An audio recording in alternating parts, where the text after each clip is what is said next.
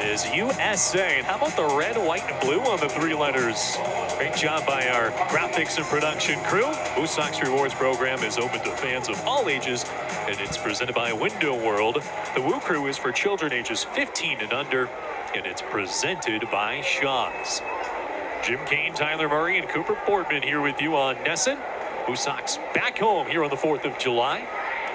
Yu Chang leading things off. WooSox on top 4 0. All four runs came in the first inning off Tyler Megill. He's back out there.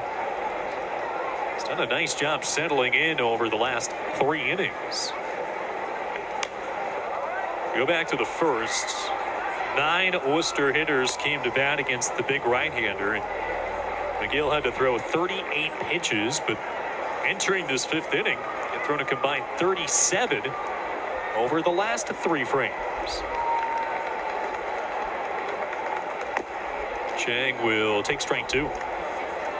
Yeah, for all the struggles in that first inning, you walked two, which is probably the biggest concern. Four singles other than that, and the one from Chang especially, a bit of a seeing eye ground ball, so he wasn't getting dominated.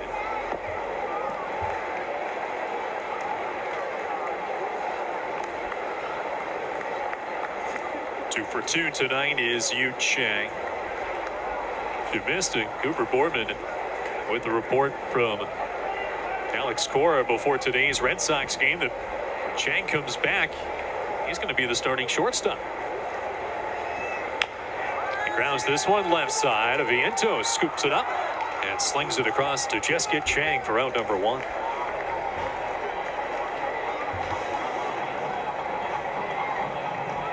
Yeah, I think that's uh, going to be a turning point for this team. If they can get a shortstop like Chang that they feel confident about defensively, it's just been so hard for the Red Sox to find that consistency.